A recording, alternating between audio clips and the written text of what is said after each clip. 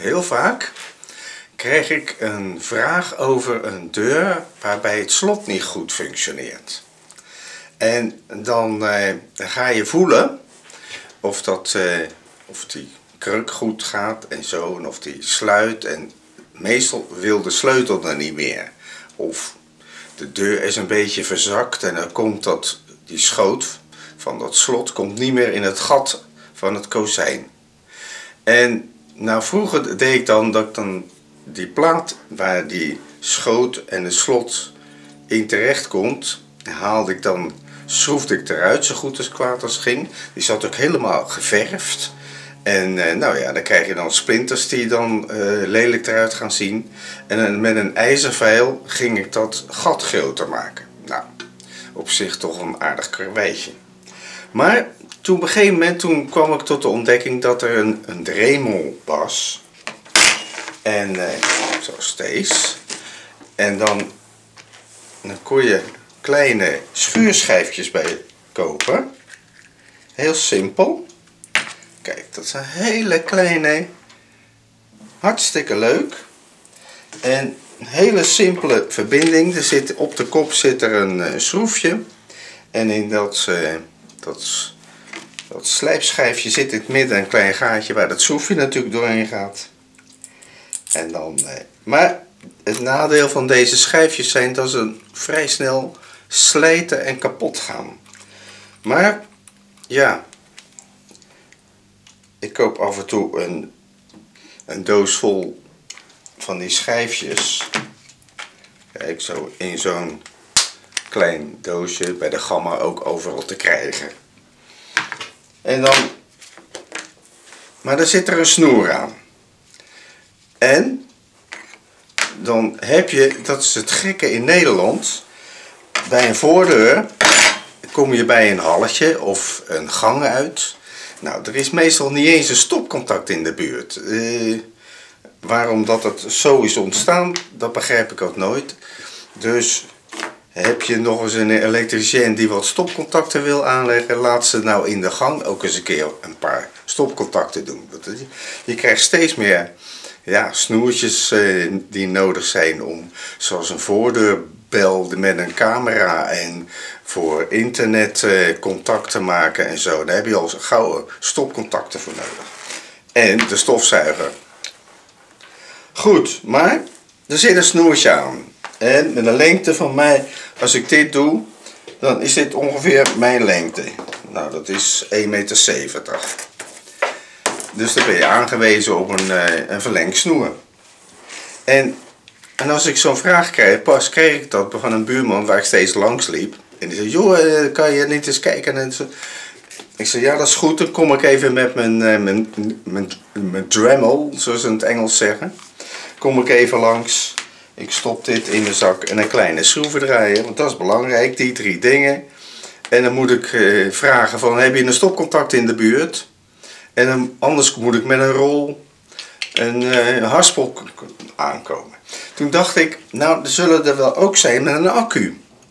Nou, is dat niet het meest ideaal hoor, moet ik zeggen. Accu, dan heb je gelijk een acculader en als je hem net nodig hebt, dan is die accu net leeg. Dus je moet een reserve accu hebben. Dus, dus dit ding hou ik wel in mijn kist met dat snoer. Altijd.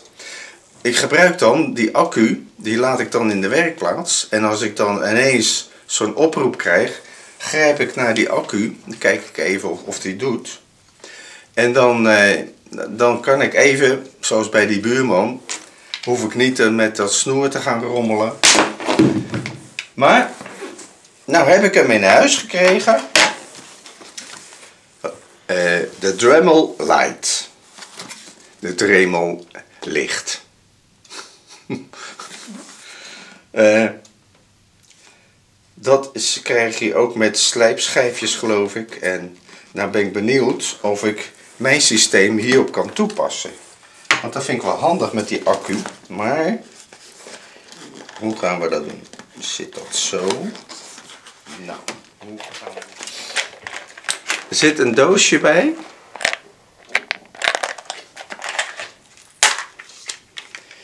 En kijken wat voor mij interessant is.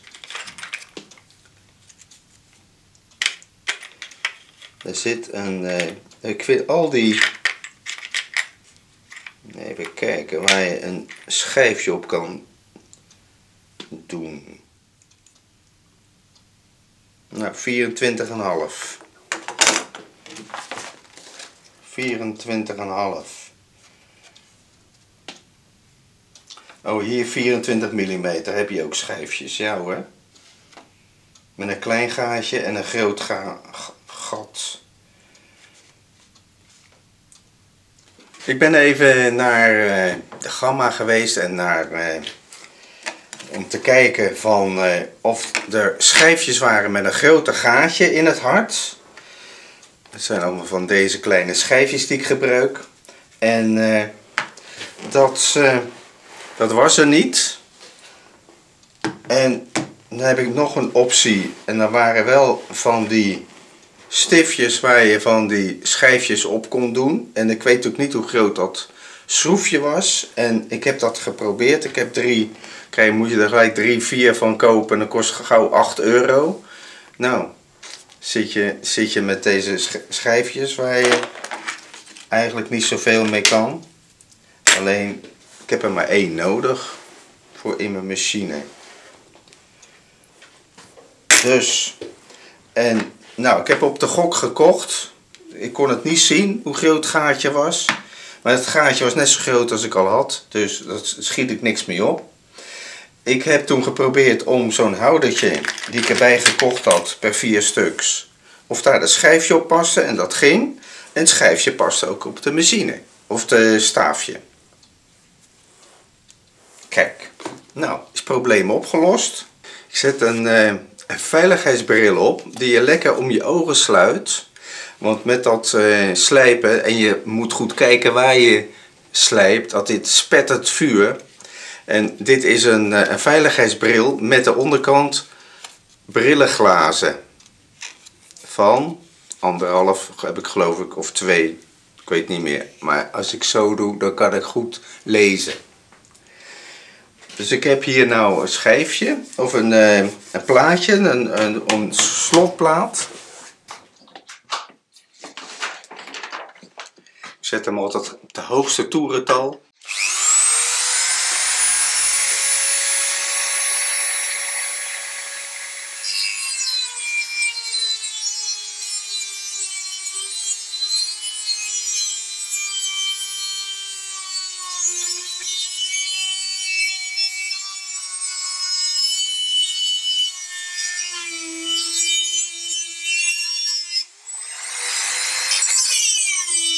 Het dwars opslepen, dat gaat wat moeilijker, maar dat breekt wel af. Als je met een schroevendraaier dat oplicht, kijk, dan komt hij al.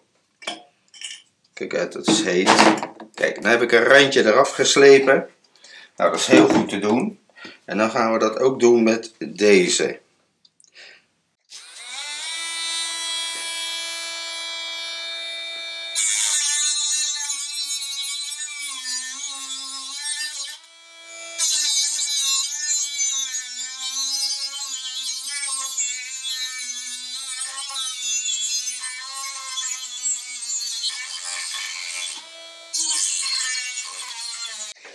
Voor dit werk is hij afgekeurd. Daar heb ik dus niks aan. Dat is, uh, er zitten nog van in die doosje nog van die andersoortige sleepdingetjes. Maar ik voel de, de kracht is te zwak. Nou, het leek mij een leuke oplossing als je geen snoer had om een eentje met een accu te kopen voor de Dremel of een Dremel. Er staat ook Dremel Light en eh, ja, dat houdt ook in dat het een lichtere machine is dan.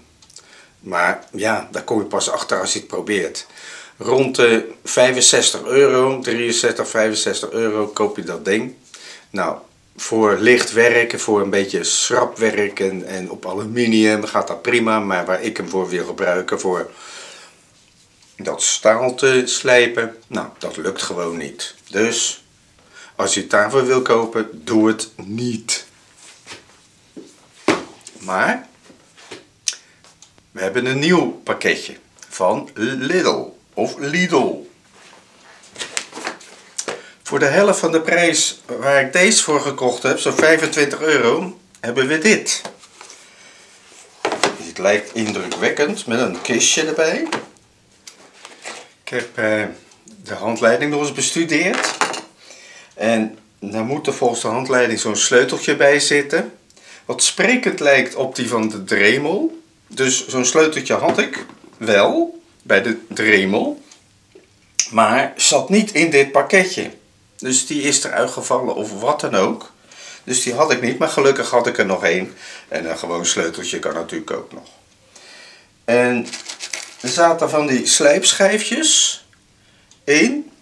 En ik denk, nou, dan moet je ook een staafje hebben waar dat bij past. Nou, die zit erin. Nou, ook schroefje op de kop, helemaal niks bijzonders. En er zitten vier spanschroefjes in bij verschillende, want je hebt verschillende boordjes en, en, schijfjes, dus heb je ook verschillende span eh, voor nodig. Maar ik ontdekte dat de schijfjes die hierbij geleverd werden van Parkside heet dit machinetje, die waren slapper als die schijfjes van Dremel. En die waren al niet sterk. En die zijn helemaal niet sterk. Helemaal dun. Dus ik geef toch de voorkeur aan de slijpschijfjes van Dremel. Maar daar past weer niet het schroefje in. Die bij dit staafje hoort. Maar dat schroefje, daar kan je wel een beetje doordrukken. De, de Parkside eh, ga ik nou eens proberen voor het eerst. En eh, deze kan metaal slijpen, zeggen ze. En de accu is helemaal gevuld, dus dat moet hij doen. Hij staat op maximaal. Knopje zit aan de achterkant. Ja. En als ik dit nou wil slijpen,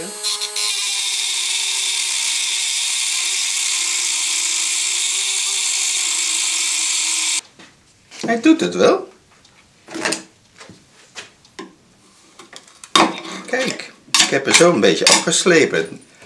Dus de parkside is goedgekeurd.